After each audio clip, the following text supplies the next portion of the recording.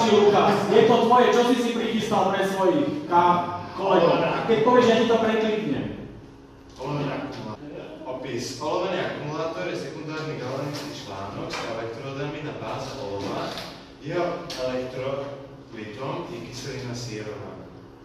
Jeho výhodou je schopnosť dodávať vysoké radové prúdy.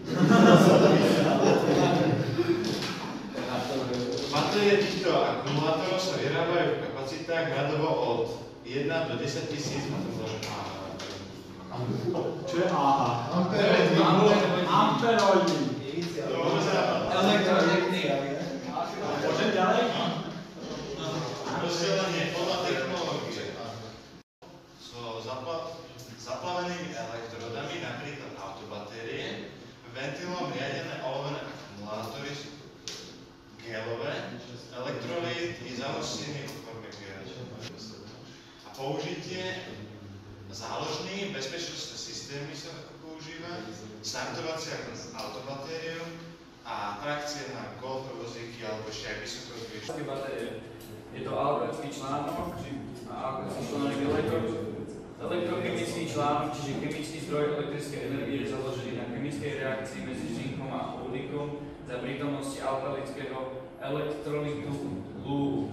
Člán, článok má podobný princíp ako suchý článok, iba že tu reagujú s uhlíkom zinkové filmy, ktorých reakčná plocha je väčšia ako u násobky a preto je možné z batérie odobrať väčší prúd. Ja prosím. Uh, výhody.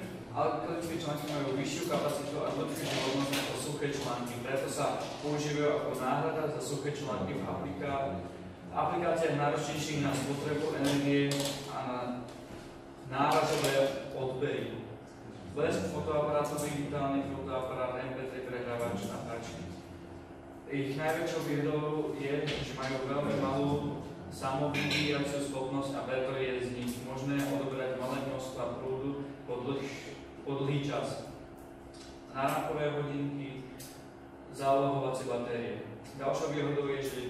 nevytekajú. Nádobka sa nespotrebo, nespotrebováva na reakciu a preto sa nepredierami ako suchých batérií.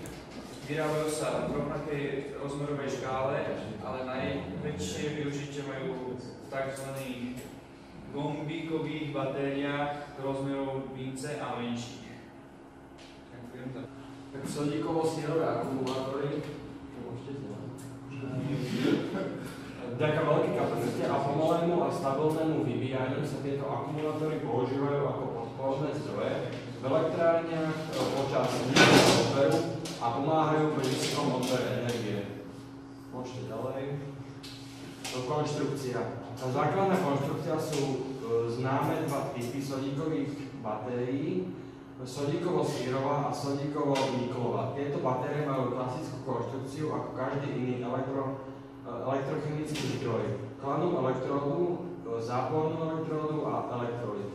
Zvláštnosťou týchto batérií je na jednej strane ich prevádzková teplota, ktorá sa pohybuje od 270 až do 350 stupňov a na druhej strane fakt, že elektródy nie sú v pevnom, ale v kvapalnom skupenstve. je používané v spotrebnej elektronike a elektromobiloch. Kvôli vysokej hustote energie v atomovom objemu sa výborne hodia pre prenos zariadenia. Preto je to najpoužívanejší typ batérií. Vo vnútri každej bežne predávanej batérie je čip, ktorý kontroluje stav a priebeh nabíjania. Anoda je vyrobená z hudíka, katoda je z oxidu kovu a elektrolit je litiová sol v organickom rozpúšťadle. Môžete ďalej výhody a nevýhody. Výhody veľmi veľká hustota energie, dlhá životnosť od 500 do, do 1200 na viacej cyklov. Môže byť vyrobená v rôznych tvaroch, skoro žiadne samovybíjanie a nemá pamäťový efekt. A nevýhody nebezpečenstvo výbuchu alebo znietenia pri nesprávnom používaní. Batéria stárne, čiže stráca maximálnu kapacitu a vadie úplne vybíjanie. Momentálne na svete vyrobených miliarda aut. Predstavte si miliarda. Predpokladá sa v roku 2050 ich bude 2 miliardy. Dajme tomu, že len 50% tých aut by bolo s takýmto pohonom. Viete si predstaviť tie obrovské objemy tých materiálov a tá zemská kôra je vyčerpateľná, takže je na zamyslenie, či uh, Áno, či mať 12 valce, alebo bude mať dlho až základov a pritom si bude si škrapkať vydačky na ruke. No, takže uh, podstatná celá tohto, tohto všetkého je možno v tom, že vás to možno zaujalo, možno nie. Ja vám veľmi pekne ďakujem za pozornosť.